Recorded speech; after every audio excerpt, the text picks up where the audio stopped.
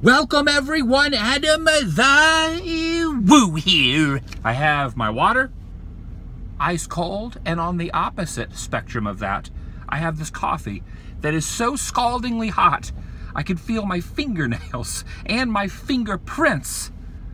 Fingernails? Fingerprints being worn to a nub through the cup itself. It's my second channel, daily vlog channel. I almost lost the intro there because this is so hot. It's, I'm gonna drink it. I'm gonna drink it.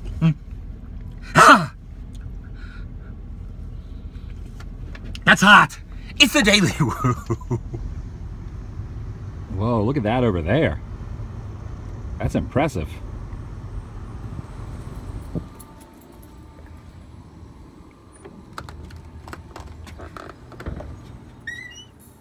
Wow, look at this.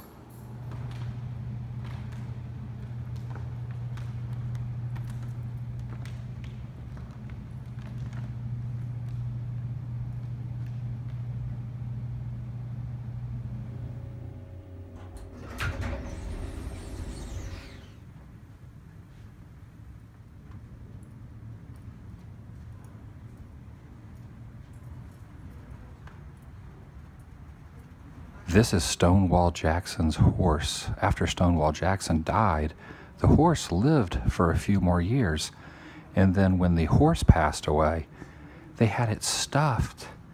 And it's in this museum. His name was Little Sorrel.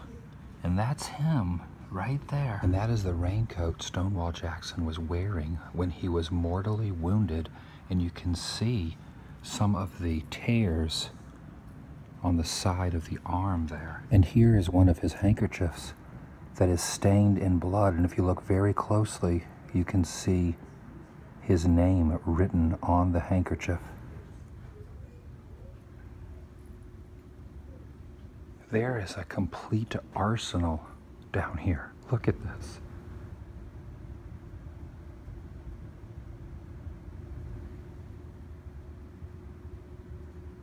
The Uzi 9mm. Only what you see, pal.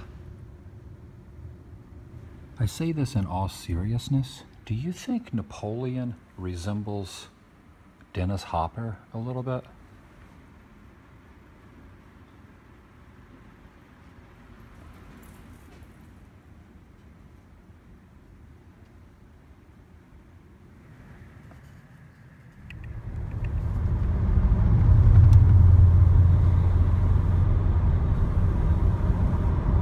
I want you to look closely at something that's located right there. What you are looking at off in that field is a 20 foot tall Stonewall Jackson on a 5 foot rock base, making that a 25 foot tall dedication to the 150th year anniversary of his death by local legend Mark Cline. Look at that thing! Just hiding there in the trees! Oh, Stonewall, you're a sly devil.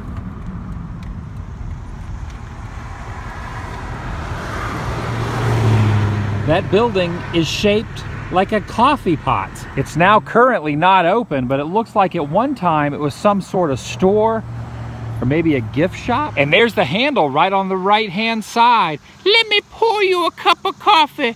Would you like caffeinated, or decaf, or half calf? You want a little cream and sugar in your coffee, sweetie? I think I may have officially lost my mind. Wow, look how beautiful those mountains look. Great view. Small town Virginia life. Say hello to robot cyborg muffler man. And if you look right inside the belly, there is an alien. He has the head of Robocop and some sort of weird shaped arm here on the left. His arm is a tentacle. Imagine being crushed by one of these robotic feet. Look at the size of this thing. This thing would be terrifying if you met him in a dark alley somewhere. Hopefully he's a good guy, because man, You do not want to upset this gentleman. At some point, look up the name Mark Cline, Virginia. You can either pause it and look it up now or wait till the vlog is over. He is basically a creative genius who is a local legend and I don't know how many people outside of Virginia really know who he is. He has my approval. I definitely am a fan. And I'm going to show a lot of the stuff around this neck of the woods that he has created.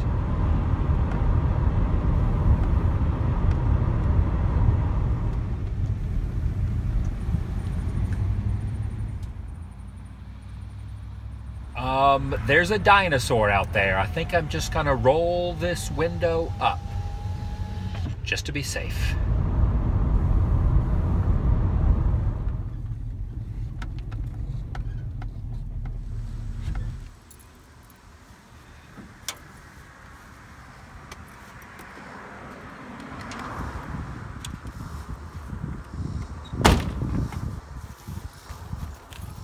There's something here in Natural Bridge, Virginia that is on its last days. In fact, it's going to be removed very shortly. And I made the pilgrimage just to document it. This recreation of Stonehenge is made completely of foam. And the rumor is all of this land is being bought, developed, and they do not want Foamhenge here anymore. Now, don't quote me on that. I could be incorrect with the specifics of what's going to happen with this land. But one thing is for sure, within the next month or two, none of this will remain. And as you can see by gently tapping on it, this is not stone. It's all made out of styrofoam. And it's been here for years, but not for much longer. Anyone that is a fan of monumental roadside attractions has to be a little discouraged by this. I know I am.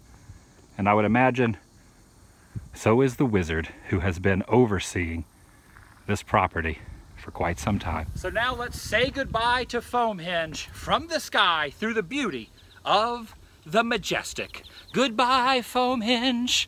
You were quite the ambiance on the mountainous hills of Natural Bridge, Virginia. And hopefully you get moved somewhere else where people can feast their eyes upon your glory, upon your majesty. Foamhenge.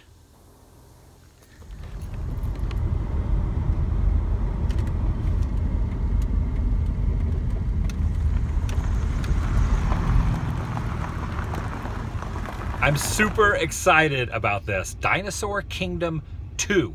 Dinosaur Kingdom 1 was destroyed by vandals. It was burnt to the ground but it has risen from the ashes. And now it is time to check out the sequel. This looks like something out of Little Shop of Horrors. There's a creepy eyeball with a bloody hand holding the eye. Look at this. It looks like Audrey. And then there is a sign giving us the information of what is about to be bestowed upon our vision. Trapped in 1864, Professor Cline needs to fuel his time machine Whoa, it looks like we're going through some sort of time portal. Whoa, we're going back in time. Beware the tracks of the great white beast. You can see his footprints all in the ground here.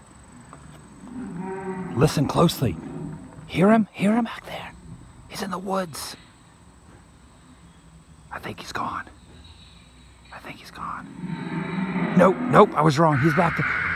What the heck? The fact that there are buzzards up there is not a healthy sign, nor is the fact that we're walking through the jowls of a gargantuan beast. Looks like the bridge is out, and this guy is slightly terrified. I can't blame him. I know this might be messed up, but I'm really glad that dinosaur stepped in there instead of me. Because that could have been my foot. Whoa, and here's the dinosaur that lost his limb. He's still preying on this guy. I'm not really 100% sure, but I think this slimery looking guy is trying to destroy the dinosaurs. Two-headed turtle holding a stick of dynamite. Something you don't see every day. These three gentlemen are being surrounded by dinosaurs. The look of fear on their faces cannot be ignored. What's Abraham Lincoln doing up there? What are you doing down there, buddy? What you doing? Oh, I see. You're milking a cow, right? You're milking a cow, getting some cow's milk to drink, or, or not. Shh, be very quiet. Be very quiet down there, guys, because directly above you is this thing. There's like this very unusual shaped Blair Witch stick, but look on there. There is a spider, a species that I am not familiar with. Should I be this close to this? Probably not. I'm going to put you right back there. Carry on. This looks to be some sort of shelter from the dinos. I think we're safe in here. I think we're safe in here. Oh, we're not safe. We're not safe. Run! Clearly, this dinosaur has no respect for the dead. Why can't you just let him be? Just let him rest in peace.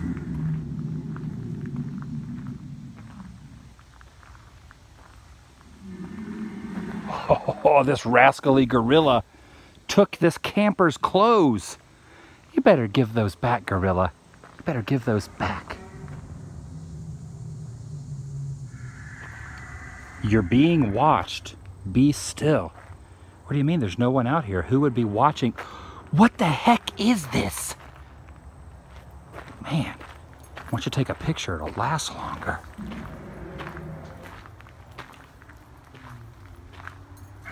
This is one fully armed and operational dinosaur. What are those, Gatling guns? Overkill, huh?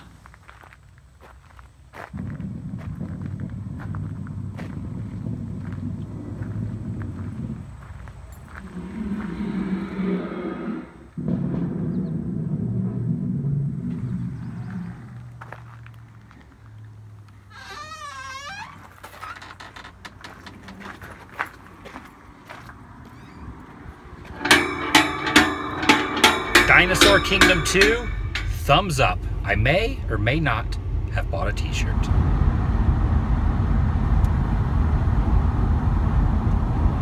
I have not been getting a whole heck of a lot of sleep lately due to the fact that I'm cramming so much content into these vlogs every day. I try to get down the road, see as much as I can, do as much as I can in one given day, and document all of it into these daily vlogs. I really hope you enjoy the journey that I have been on.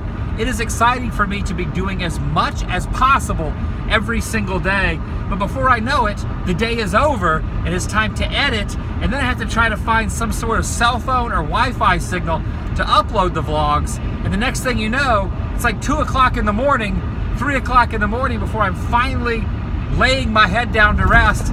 And since I'm an early riser, I wake up early every single day and it's time to begin all again. I love it, but coffee is my friend. This morning I started somewhere around here, was heading this way. Right now I'm located right where the star is, and I'm heading downward. That's a lot of satellites right there. Reminds me of Cable Guy. There's old Costanza on the wall there.